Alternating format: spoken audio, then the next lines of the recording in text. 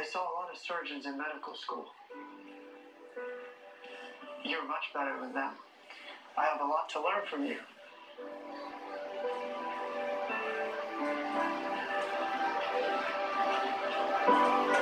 You're very arrogant.